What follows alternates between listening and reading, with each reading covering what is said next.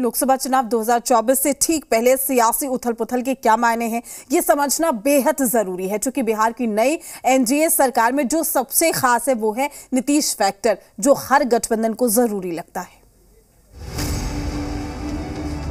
मैं द्वारा संविधान और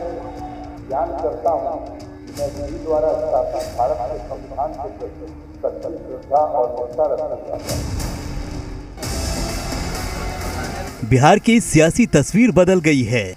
प्रधानमंत्री नरेंद्र मोदी के विजयी रथ को रोकने के लिए जिस इंडिया गठबंधन का गठन हुआ, उसके सूत्रधार मुख्यमंत्री नीतीश कुमार अब प्रधानमंत्री नरेंद्र मोदी के सारथी बन गए हैं। साल 2005 के बाद से बिहार में नीतीश फैक्टर जीत की गारंटी है। नीतीश कुमार जिस गठबंधन के साथ रहे, जीत हुई। अभी लोकसभा चुनाव बिल्कुल सिर पर है। फरवरी के बाद कभी भी लोकसभा चुनाव की तारीखों का ऐलान हो सकता है। ऐसे में बीजेपी के लिए नीतीश फैक्टर को समझना बेहद ज़रूरी है। नीतीश इंडी गठबंधन के सूत्रधार थे। बिहार में जातिगत सर्वे कराया। बिहार में 75 प्रतिशत आरक्षण को पास कराया। शिक्षक बहाली पार्ट वन, बहाली पार्ट टू कराई।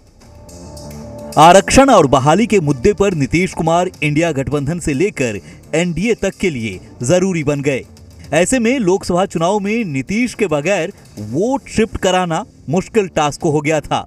अगर नीतीश कुमार एनडीए में वापसी नहीं करते तो माना जा रहा था कि बिहार में 2019 लोकसभा चुनाव के नतीजों को दोहराना एनडीए के लिए मुश्किल है। 2019 में बिहार में पीएम मोदी, सीएम नीतीश की जोड़ी ने करीब करीब क्लीन स्वीप किया था। एनडीए को 40 में से उनचालीस सीटों पर जीत मिली। बीजेपी को 17 सीट जेडीयू को 16 सीट मिली थी। एलजेपी को 6 कांग्रेस ने सिर्फ़ एक सीट जीती थी। आरजेडी खाता भी नहीं खोल पाई थी। आंकड़े तस्दीक करती है कि प्रधानमंत्री नरेंद्र मोदी और नीतीश के गठबंधन में लालू यादव की पार्टी ज़ीरो पर आउट हो गई थी। जबकि नई सरकार का गठन हुआ है, उसमें चुनाव को देखते हुए जातीय समीकरण को भी साधने की कोशिश की गई है। नीतीश के सिपह सालार में सम्राट चौधरी कोयरी कुशवाहा समाज से हैं।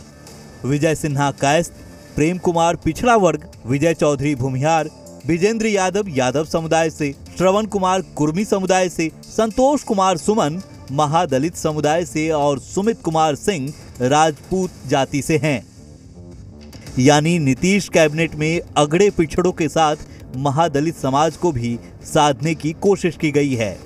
अभी मिशन 2024 की शुरुआत हुई है, जिसका असर बिहार विधानसभा 2025 में भी ज़रूर पड़ेगा। Bureau report, Zee media.